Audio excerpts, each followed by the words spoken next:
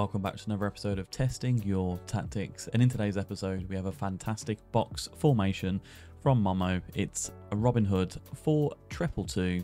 Let's get into it.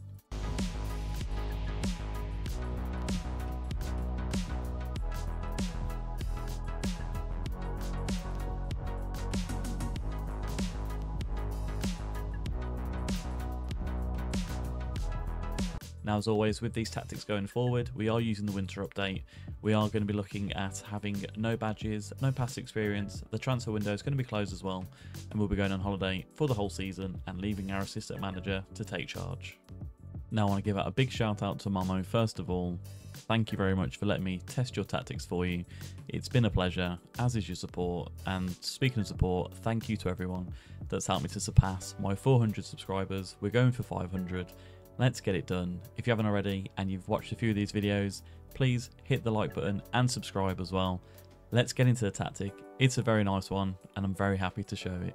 Now as I mentioned, it is a 4 triple two positive mentality. It's a custom tactical style as well, which basically just means if you don't know that it hasn't been preset to any of these styles, if you clicked on a clean slate, it will come up as kind of yeah the tactical style of that. So in possession, it is a fairly narrow attacking width with focus play through the middle, shorter passing with a slightly higher tempo as well, low crosses in the final third with work ball into the box, running the defence, and to be more expressive as well. In the transition, uh, counter press and counter with distribute to the centre backs as well. As you can see from the intensity, it's not too intense of a tactic. It is more on the intense side than less intense. So your players, they should kind of they should survive the whole game if they've got some good fitness as well. Now, out of possession, it's a high line press of engagement with a high defensive line as well. Trap inside, get stuck in, prevent short goalkeeper distribution, and trigger press much more often also. Looking at the uh, the roles and how they are set up here, so a sweeper keeper on defend, no instructions for the sweeper keeper, two fullbacks on support, no instructions on these as well. And this is very interesting to see. I'm quite happy to see this as well. Left-sided ball playing defender on defend with take more risks and hold position. Centre defender on defend, shoot less often, dribble less and hold position. An anchor as a CDM with shoot less often, dribble less, take fewer risks and to hold the position as well. With a Segundo Volante on attack with moving to channels and to get further forward. Left hand side of the second bank of two, an attacking playmaker on support with stay wider, shoot less often, take more risks, an attacking midfielder on attack on the right hand side with stay wider and to get further forward. On the right hand side of the front two, a deep lying forward on attack with hold up ball, take more risks, move into the channel, and an advance forward on the left hand side that is move into channels. Now the first test that we have got coming up is with Everton. Their media prediction is to finish in 16th. It is on the winter update as well. There is no amendment to the points deduction, so there is still a minus 10 at the start of season for Everton. But let's get into it and let's see how we do. And fantastically, from 16th place, we finished in 6th. Absolutely fantastic. Now, don't forget, we did start the season with minus 10. So, with this tactic, we would have actually finished in 4th place in the Champions League and higher than Liverpool as well. So fantastic to see. Looking at the player stats, actually no, I've not really gone through that. we've had 21 wins, 9 draws and only 8 losses in the Premier League. Plus 30 goal difference with 62 points on the board. Not taking in the fact that Villa finished just below us on 62 points. We had minus 10 point deduction. So yeah, we're going to go with that. Goal scorers, Calvert Lewin and Beto, 1 and 2 with 20 goals and 17 goals respectively. Same for the average rating. Calvert Lewin 7.43, second in the league with Arnautovic Danjuma, third with 7.36. Speaking of Danjuma, top of the assist charts, and Dwight Neal came second with 13. Beto, who's seventh player of the matches, joint second in the division, and Idrissa Gueye with 11 bookings as well. So, yeah, a bit of a naughty boy with that one. But if we have a look at the team stats, we scored the most goals in the Premier League. Am I in the way too much here? We'll be fine with 88 goals scored in 38 games, 8 of those coming from the corners, 6 for most shots for, and 8 for few shots against. 8 for pass completion, and we've actually got most possession in here as well, 7th with 55% possession. Most dribbles made, we made the most across the season, clean sheets, we're not there, and we're not in the fuse conceded either. So kind of overall looking at the tactic, it's very nice as we have seen so far. Let's see how we kind of got on in the other competitions. And yeah, we didn't do too fantastic. We're knocked out in the fourth round of the FA Cup to Brentford. And we're knocked out in the quarter final of the Carabao Cup to Arsenal as well. And lastly, on the fixtures. So we're just going to focus on the Premier League here as well. Obviously, we didn't go far in any of the cups, so there's no point looking at them. Started off with a fantastic 6-2 victory against Luton, drew 3-3 with Brighton, but then we lost 1-0 to Burnley, which is a little little disappointing considering the squad that we do have. And that was followed up with a 3-4 loss to Newcastle, but then a 4-1 win to Bournemouth, 5-2 against Liverpool here as well, a 5-1 against Villa, although we lost 5-0 to Arsenal. And looking further down, there are some big wins in here. 4-0 against Newcastle, 3-0 against Chelsea, 5-4 against Bournemouth, 6-2 against Sheffield United, and we finished the season very strongly with 4-2 victory against Villa, beat Wolves 2-1, Brentford 4-1, and West Ham 3-1. So we are conceding, yeah, a fair amount of goals with this, but the attacking mentality and the goals that we are scoring, it is very nice to see. And if lastly, we just have a look at the squad stats and how we get on. Selection info, that's what we want. And we want to go over here. So, goals scored in the team, Beto and Calvert-Lewin both got 21 with 6 and 7 assists respectively. Danjuma with 14 goals and 16 assists.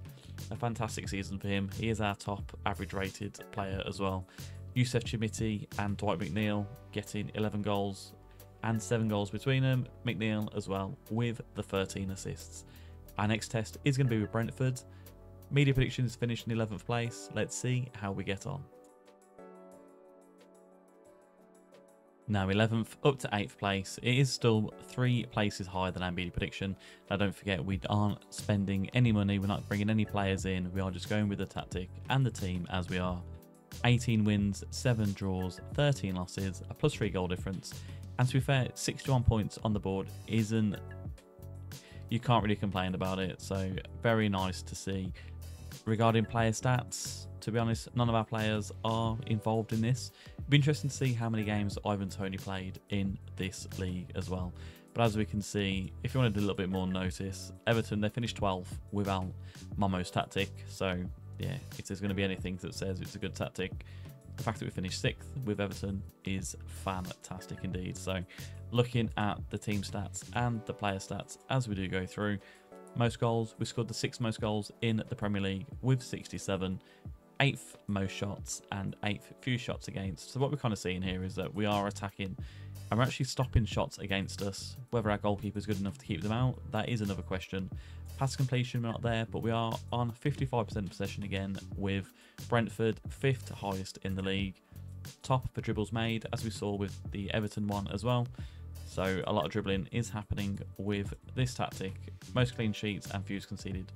We're not there, but yeah, we I don't think we're ever going to be there if we are being honest. Looking at the other cups and how we got on in other competitions. So we were knocked out in the fourth round again of the English FA Cup to Hull and fourth round of the Carabao Cup to Middlesbrough. So we didn't quite like going north of the border here with Brentford. Well, say of the border, further north into England. Uh, we lost both of our games against northern opposition, and we kind of have a look at the at the schedule and let's see how we got on with this as well. Again, only focusing on the Premier League. It was actually a fantastic start to the season. We beat Bournemouth, Palace, Forest, and Sheffield United. We lost Liverpool and Manchester United, but we beat Fulham. We actually got a 4 2 victory here against Manchester City and a draw against Arsenal. So, yeah, where are these losses coming from that is kind of uh, affecting us as we go forward? I mean, we lost 3 0 to Everton just at the top here, but you can't see that. 1 0 to Chelsea, a 3 2 to Sheffield United. That's disappointing. Man United, uh, Man City got their revenge with a 4 1. I mean, losing 4 0 to Newcastle and 4 1 to Chelsea at the end of the season. You know, it's not too bad. Can't complain too much. There's a couple of sloppy draws here as well with Forest and with Bournemouth, but yeah, can't really complain if if we're being honest. Have a looking at the squad stats and how we got on with these. Also, top goal scorer was Bryan Mbeumo with 15 goals and 4 assists. Neal Maupay 12 goals and 6 assists, with Kevin Schade with 11 goals and 2 assists. Now, what we can see between these two teams, between Everton and Brentford, clearly Everton have a lot more firepower than Brentford do have in this. But where where is the guy? Where is Ivan Toney? I mean, he has, he has played some games, apparently. Let's see how we get on with him. Has he played enough? No. He played two games in the FA Cup. Yeah, mate. Maybe we didn't register him, or maybe he wasn't registered by the team. Probably could have been that. A bit of a bit of an oversight, but you know, can't complain too much. Our last our last tactic test is going to be with West Ham. Their media prediction is to finish in 10th place. Let's see how we get on. And fantastically, another team that has finished in 6th place with this tactic from Momo. The Robin Hood, they are stealing from the rich and giving to the needy with these. So 20 wins, 6 draws, and 12 losses with this tactic. 20 plus goal difference, and 66 points on the board as well. Not too bad. Let's have a look at the player stats and see if any of our players are in here. Well, James Ward-Prowse with 17 assists across the season. I mean, looking at how good Ward-Prowse is as a player, it, it's hardly... Yeah, 20 corners, 20 free kick taking, 18 crossing. I mean, are you going to get anyone better than that? No other players are in here. Yellow cards. Edson Alvarez was a naughty boy with 13 yellow cards across the season. And if you look at the team stats as well. So for the first time, we're not top with the goal scored. We're actually sixth place here with 74 goals scored across the season. Seventh for most shots for, and also seventh for fewest shots against. So we are we are attacking and we are defending well. It's just our goalkeeper that is potentially letting us down. We are seventh with 88% pass completion and 55% again. All three tests now has had 55% possession. So this tactic is showing that it is keeping the ball very well. Fourth for most tackles won. Top again for dribbles made. We're actually on the clean sheet one uh, sheet this time with six. 12 clean sheets across the season, but we have conceded quite a few goals as well. Now, if we look at the other competitions and how we have got on, Europa League knocked out in the quarter final to Liverpool. A little bit disappointing that one is. In the English FA Cup, we are knocked out in the semi final to Tottenham Hotspur. And in the Carabao Cup, we were knocked out in the third round to Manchester City. So no upsets against us. You know, we came up against three very solid teams in the cup competitions. And it's just a little bit a little bit heartbreaking that we couldn't bring home a trophy. Now, looking at how we got on with other competitions, another wonderful start. Beat Chelsea, beat Bournemouth, six goals against Palace, six goals against Nottingham Forest, and then Sheffield United beat them 3 0. So five wins out of five, but then there are some losses here. Luton 1 0, Brentford 2 1, Newcastle 1 0. Not fantastic, but 4 0 against Sheffield United, 4 1 against Fulham, draws against Liverpool and against Arsenal. Although Villa a 5 1 victory there or defeat. It's not, not great to see. But we ended the season very well with wins against Burnley and against Everton. And then lastly, have a look at our squad players and how we got on with this West Ham team. Top goal scorer, Jarrod Bowen, 24 goals and 5 assists. Antonio and Soucek both got 11 goals, with Antonio getting 3 assists and Soucek with 9 assists. James Ward-Prowse, 24 assists. I mean, what a fantastic season that is. Looking down at Ben Johnson as well, he got 11 assists from a wing back position. And yeah, Kalvin Phillips with 5 goals and 7 assists as well. Now, quick overview of the tactic. We have beaten our media prediction in every test that we have done. The Everton result, though, being minus 10 points and finishing in 6th place. If they had the 10 points, they would have been in 4th place, which is fantastic. West Ham going from 10th place to 6th place, and even Brentford going from 11th to 8th it's very important to realise that there's no transfers being made. So when you are using this tactic, you're going to get a different result, preferably because you're going to be buying players that are going to fit into your tactical system. But it's a big thumbs up. Well done, Momo. Robin Hood has been here to save the day. Now, if you found this video useful, please let me know down below. If you want me to test any of your own tactics as well, drop me a line. Very happy to do it for you. There's some more videos over here as well. And I'll see you on the next episode of Testing Your Tactics.